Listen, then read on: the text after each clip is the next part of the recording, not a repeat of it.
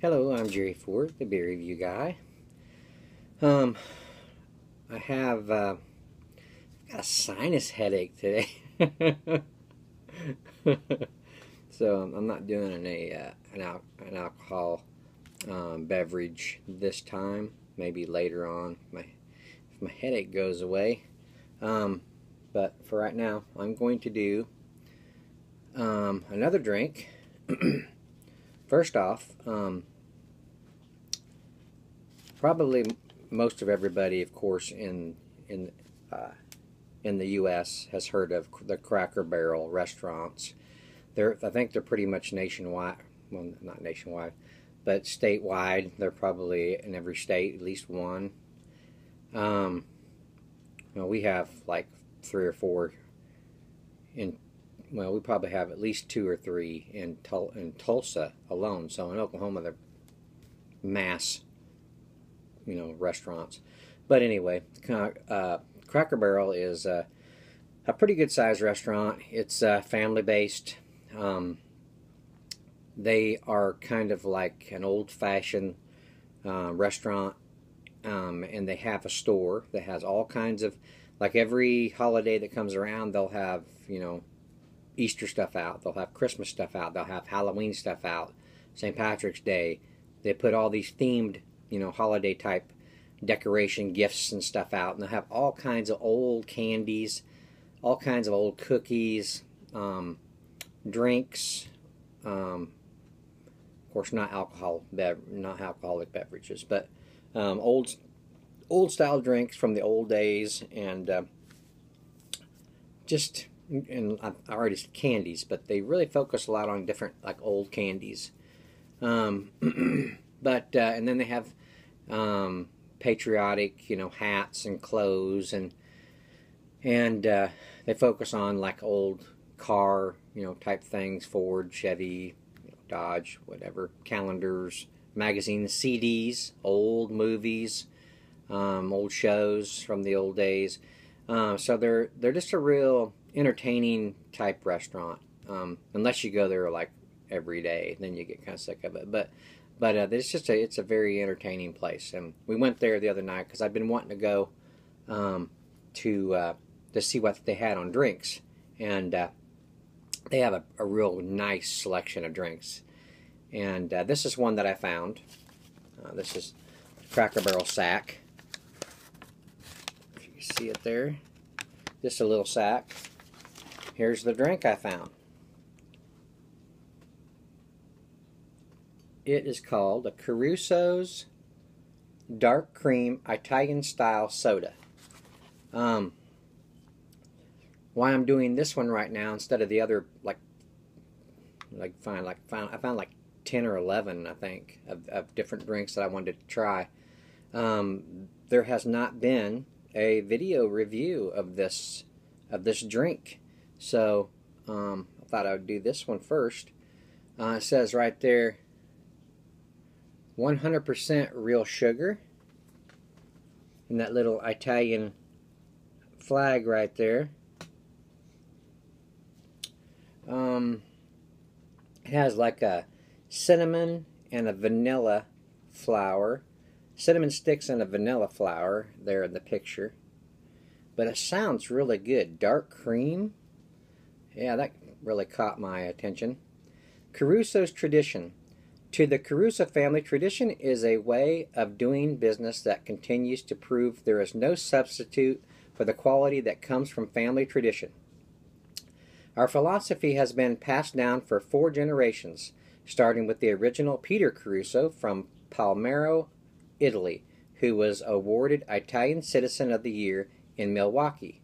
The Caruso legacy is the high standard of quality, hard work, and integrity we abide by to this day. Wit Beverage Company, made in the USA. Warning Contents under pressure. Cap may blow off, causing eye or other serious injury. Point away from face and people especially while opening. Is this not a twist off top? That's kind of weird. Okay. Anyway, uh, ingredients is filtered carbonated water, sugar, maltodextrin, uh, artificial flavoring, caramel color, sodium benzoate, yucca, yucca concentrate, citric acid, phosphoric acid, propylene glycerol alginate, and FD&C yellow, number five. All right, but yeah, here's the cap. It just looks like a really neat bottle. All right, let's uh, let's check this thing out. See first if it's a twist off tip. Okay, it got a little hiss, but it didn't explode. Mmm, wow. Boy, really caramely. Let's see what this thing's like.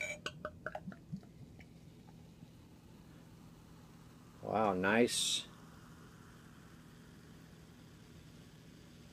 It has a root beer appearance.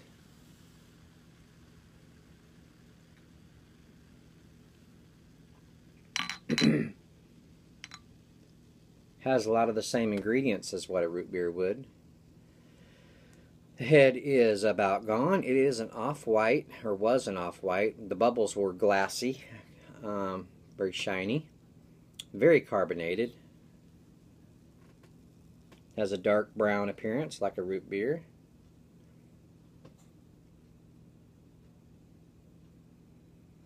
Mmm. Caramel, vanilla. Cinnamon is very light on the aroma. Smells sweet. Hmm. All right, let's see what we got.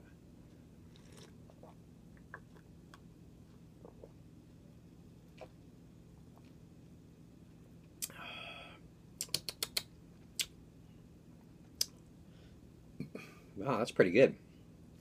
Very sweet, very sugary. 100% cane sugar. No, sorry. 100% real sugar. That's what that says. I don't know if I said that earlier. Um, very good. Uh, I'm getting the vanilla.